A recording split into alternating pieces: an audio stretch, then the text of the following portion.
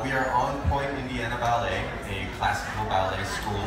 We embrace all forms of dance, such as tap, jazz, modern, contemporary, and we've brought here a little show that represents a little each one of those. So we are located in Noblesville, on the border. We're neighbors with Fisher. We're really close on 146th Street and 37.